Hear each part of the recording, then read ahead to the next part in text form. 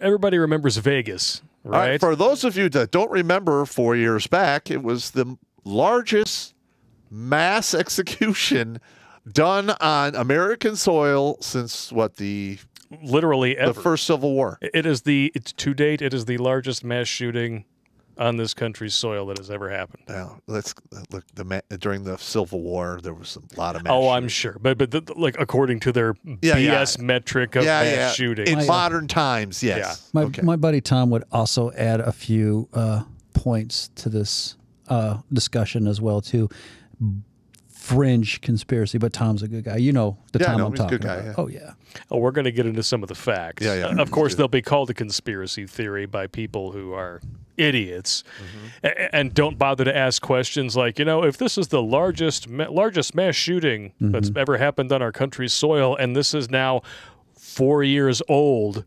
And we still don't know what happened, why, who all was involved, and the media doesn't seem to care. yeah. Who? What? Why? when, They and where. probably don't want you asking those questions. Yeah. Just also remember you you have a slew, an army of blue-haired trigger monkeys that are going to try to debunk everything you say. I don't Yeah, care. f them. I don't give a shit. them in the asshole with That's a fine. big rubber dick. Listen, it, it is what it is. Yeah. we have some of the footage here. Let's do it. All right. So you're a grunt. Li- you tune your ears to this. Yeah. Uh, oh, hang on. Let me switch this over. You here. fucking with it? Nah, I'm not fucking anything. I think fix this up here. There we go.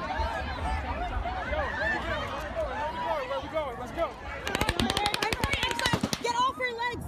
I can't. Okay, come on, get up. Yeah, I, I suppose a disclaimer. It- It's not really disturbing footage. It's literally just sound effects and people panicking. I'm just listening for the sounds. There's two. Yeah, that's multiple guns. That's multiple gunfire. That's yeah. talking machine guns. Yeah. So what what he's saying is that you're having a coordination of fire. Yeah. Now, remember, this is supposed to be a lone gunman, and he was supposed to be a far right extremist, despite the fact that virtually every single person who died that day was basically a verifiable Trump supporter. Yes. But, uh, no weapon can cyclic that fast unless it's a Belt much more fed. powerful uh, platform. We're talking minigun. Yeah. No, no, no, no. That's not a minigun. That, Well, that- it's not a minigun. No, it's not what I'm saying. It's just that what you said earlier that it's that's coordinated gunfire. Yes, it's talking guns. Talking Yep. guns. There's one here specifically. We'll bring it up here. Now, I'm going to pause this See, here. I don't understand why they shut those fucking lights off. I don't know. God damn it. If you Nothing like Pull nothing this like over. illuminating the kill box. Yeah. roughly about the 150 mark. All right. Yeah. Now, there, there are people who, after this, are like, well, it's what you're hearing is just an echo. No. It's not actually two guns firing at the same time. Listen to this, and then tell me when you think those people are full of shit.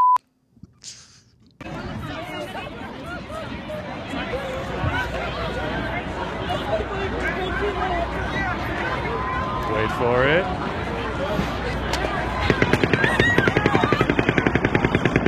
Okay. That's a meat. That's a 556. The other one was a 30 cal. See how slow it's firing?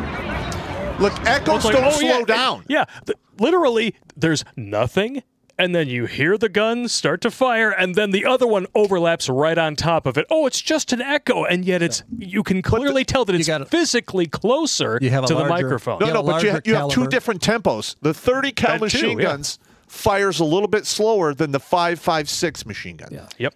Those things fire fing fast. Yeah, the cyclic rates on a 249 you can adjust as well as. I'm, I, it's been a long time since I got. To When I with was a SAW platform. gunner, I used to turn my shit up to Vulcan. Yeah, All right. A- And of course, you know that there's people have actually done forensic analysis of this. Let's take a look. We have confirmation through this acoustic forensic analysis method that there is a shooter at 425 to 450 yards. Shooter number two appears throughout the audio files, and shooter number two has a lag time of 0.374 seconds. 0.374 is between here and here, so it's between 200 and 300 yards.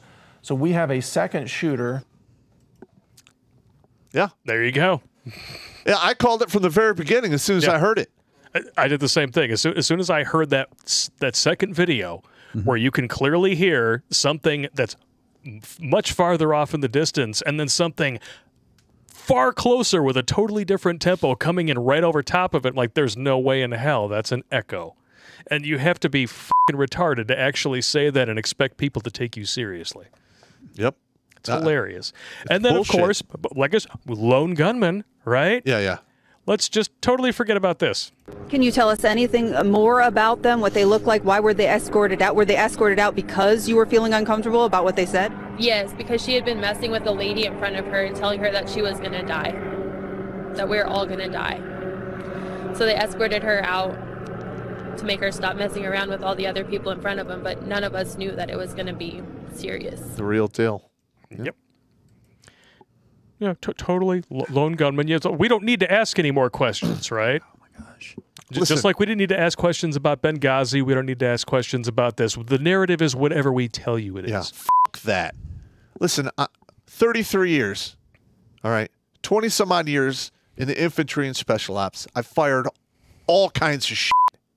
I've done ambushes. I've been at, uh, you know, a movement to contacts. Um, you know, all, I mean, you know, Don't I've for- done the, I've done the talking machine guns between, you know, and close air support. yeah, yeah.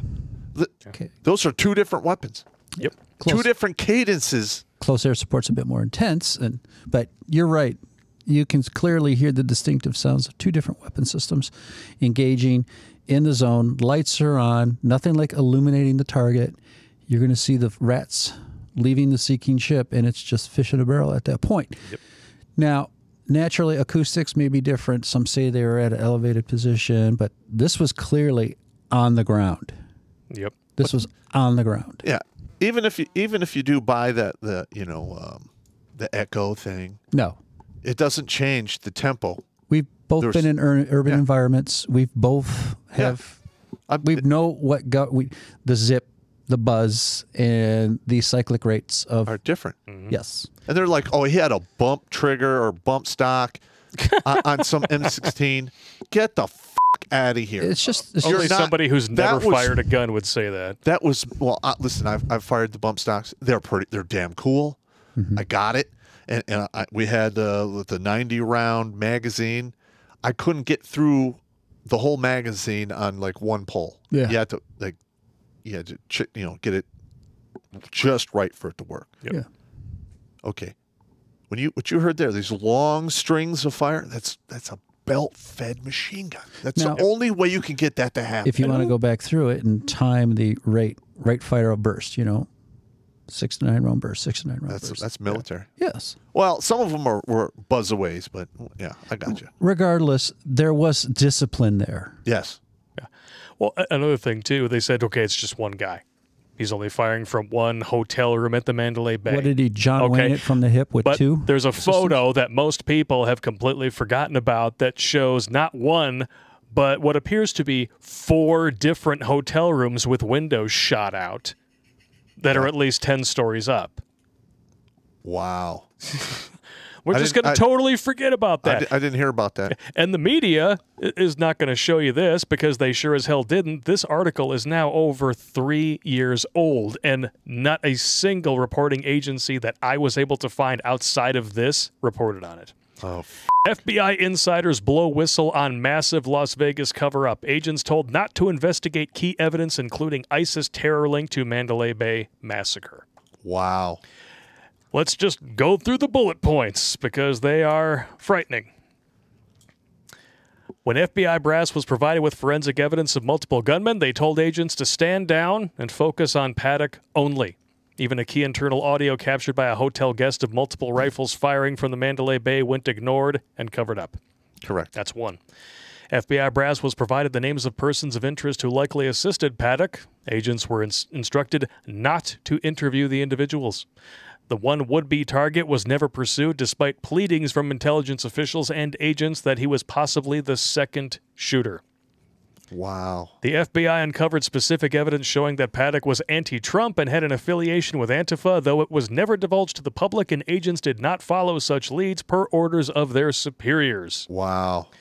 When FBI brass was given evidence that the shooting was possibly linked to Antifa radicals working with an ISIS linked terror faction, including the full identities of some of the suspects with ties to both radical groups at and at or near Mandalay Bay the night of the shooting, agents were never instructed to follow up on the investigation and pursue the suspects. I would like to get my hands on that list. Me too. When intelligence officials approached the FBI and LVMPD with external evidence that Paddock was only one member of an organized terror cell, which included as many as five gunmen who planned to fire from the Mandalay Bay suite, his autopsy report only details a single bullet to the head. Oh no, FBI sources say Paddock suffered two gunshots, but his autopsy report only details a single bullet to the head. FBI sources maintain Paddock's autopsy was doctored and is a fraud, just like Epstein's. Yes.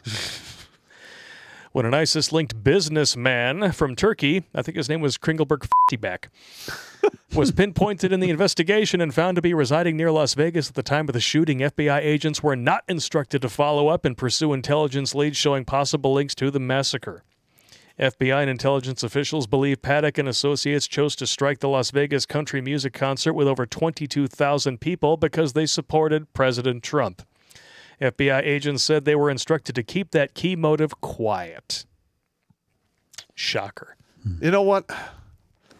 I, I don't think I couldn't do it. I could not, in good faith, follow that order. No. If they're like, you don't investigate that, I'll be like, yeah, yeah, sure, sure. And I would keep doing it. They'd have to fire me. Yeah. See, this is an actual whistleblower, not the fake Facebook whistleblower. Yeah, I which know. is clearly a, a glowy psyop. Somebody with a uh, with a moral base and some with ethics. I couldn't do it. I could not, in good conscience. I, There's three more, dude. let's do it. Yeah. All right. When MGM refused to share CCTV footage from Mandalay Bay, FBI agents were threatened by superiors that any whistleblowers divulging such revelations to the media would lose their jobs. The FBI still has never been provided all the camera footage from the Mandalay Bay, FBI agents said. Wow. When agents and when FBI and Bureau of Alcohol, Tobacco, and Firearms agents informed FBI bosses that Paddock didn't start buying dozens of guns until after Trump's election, they were told to keep that fact quiet and shrouded. Might have something to do with the fact that they were illegally investigating a sitting president. Mm-hmm. When FBI agents followed up on an ABC News report that Paddock wired $100,000 to the Philippines shortly before the rampage, they confirmed the report was untrue. Instead of disputing it, FBI bosses embraced the false story, saying it helped build the narrative the Bureau was constructing about Paddock. FBI agents believe the story was planted with ABC by their superiors.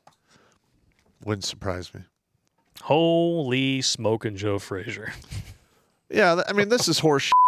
You know, Yeah. where are the fucking lawsuits against the fucking Mandalay Bay? Look, if The if, FBI. if I had a family member that died in this fucking kerfuffle, I would not settle. I would fucking sue the fucking shit out of them. Damn right. Because when you settle, you have to sign, you know, all these secrecy agreements. You take the money, you shut your mouth. I, I couldn't do it. I couldn't do it. As always, you are welcome to check these sources for yourself, make up your own mind. There will be a complete list with archived sources on redonkulas.com after the stream, and we have over 1,100 people watching this right now. And it's quite Wow. it's quite unfortunate that people can't make up their own minds because they're too lazy to do their own research. Okay. You're damn I- right. I'm going to be honest with you. People thought for themselves a lot more when you had to go to the goddamn library to research subjects. Now that you have one of these, you have the Library of Congress at your fingertips, and people are lazier and I wouldn't say stupider, but unwise and have no common sense than ever. Watch Grunt Speak live Tuesdays at 8 p.m. Eastern and bring the strong stuff. Now is not the time for beer. That comes later.